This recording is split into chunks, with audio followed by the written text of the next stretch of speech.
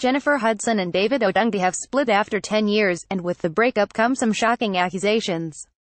On Thursday, the day the breakup was made public, the Oscar and Grammy winner obtained protective order against her ex-fiancé, father of their eight-year-old son, David Daniel Otunga Jr.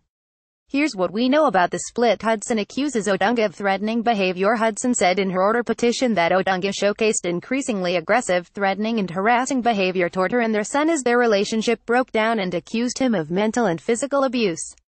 Otunga's attorney has said his client has never abused or harassed Ms. Hudson or their son. He said the WWE star has been trying to negotiate the terms of an amicable parenting agreement with Hudson for several weeks and said the actress and singer was trying to gain an unfair advantage in the custody dispute by filing her order. He said Otunga looks forward to his day in court and in being awarded the residential care of the party's only child.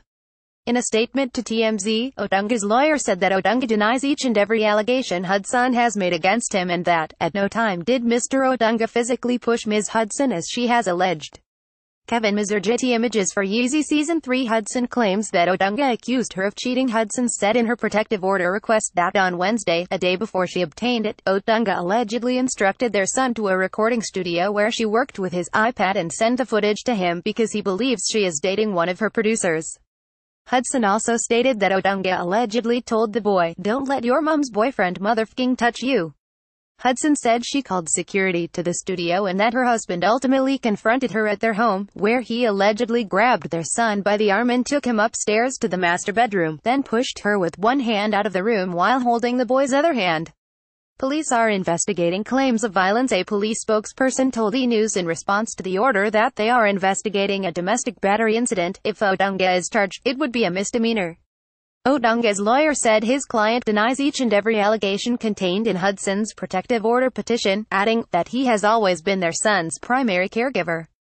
He added that on Wednesday, Hudson thought it was appropriate to have their son at a recording studio until 12.30 a.m. on a school night and that Otunga's only concern that evening was putting the child to bed so that he could be well rested for school. Prop Gun Hudson also said that Otunga allegedly left a firearm, which she said he claimed is a prop, out on their kitchen table to taunt her, as a gunman had killed her mother and brother in 2008. Otunga's lawyer said his client does not own a firearm and that the firearm in question was a prop that he used for an audition, just as he told her it was at the time she saw it in their house. Separate rooms Hudson says that her and Otunga's 10-year relationship began to deteriorate this past April and that they have been sleeping in separate rooms for at least six months.